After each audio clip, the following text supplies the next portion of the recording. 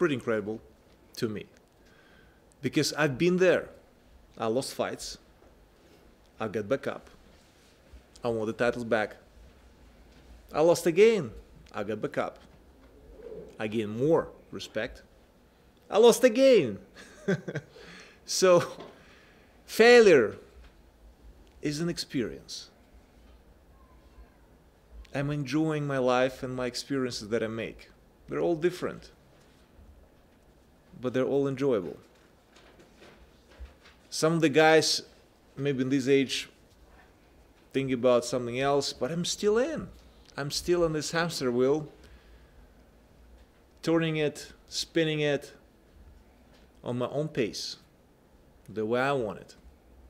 And one incredible thing that I want to mention to you usually after a loss, you're getting in the line.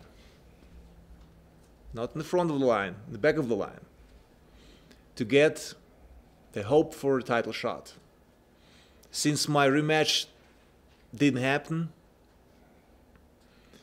so I had to figure out what's next. And the best thing that could happen to me is having this challenger, your countryman. I'm speaking about uh, you guys from England. There's some guys from Germany behind you.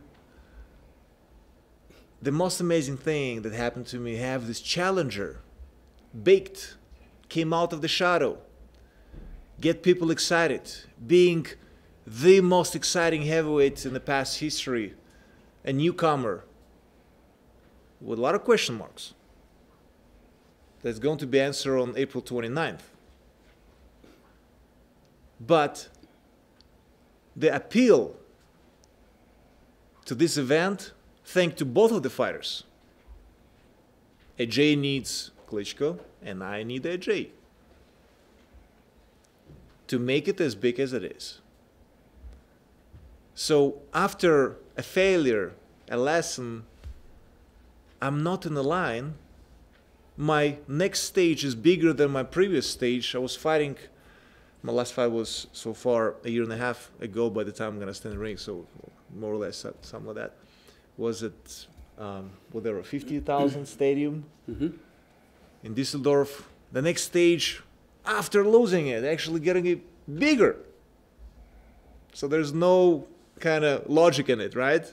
Usually, as a set of the failure, so you you you starting sl- slow and small and different, but it is incredible right? an incredible career, which I'm enjoying a lot. I've learned what to do, and I've learned mostly what not to do during my preparation. I know this is a stage, and the stage is very high, and it's appealing a lot of interest to both country hands, and also what is going to be said was the message she's sending out there. And I believe, and we all agree, I, I think, that this is a great message for sport of boxing. We have been promoting this fight. I think the size of this fight is so big, the meaning of it is big, but we haven't really promoted it much. Usually, you you do a bunch of press conferences, and you do a lot of promotions and a lot of press work and all of this, and then as you know, you know, all the controversy at the press conferences and, and, and so on. We haven't had it, much of it. So we did promote it. We, you know, but it's so obvious that both fighters are on the same eye level, and this fight is truly 50-50. Is the young guy can make it? Is the old older guy? I want to say myself, call myself old, but older guy still got it. So question marks making this event really, really interesting. I'm having questions even myself. Like, listen, I, I had a, a, a break, the longest break in my 27th year since I started box of my career. I never had a pause for a year and a half being out, being inactive and out of the ring for a year and a half. Is it bad? Is it good? Did it get rust Or whatever. I don't know. I feel good. Will I have rust in the ring? We'll see. I want to add this answer to myself.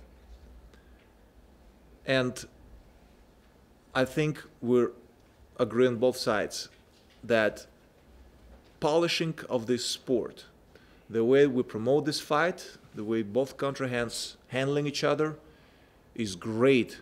That hasn't been done for a long, long time. And I think the fruits of this promotion and of this fight, hopefully everything is going to go well. We cannot look too far in the future, but we all hope that this event is going to be great and the fruits of it are going to be great as well. Because from good usually comes good. So I do look forward to the challenge. I do look forward to face Joshua in the ring, not in a sparring ring as you've seen it before during my preparation 2014, but an actual fight at Wembley.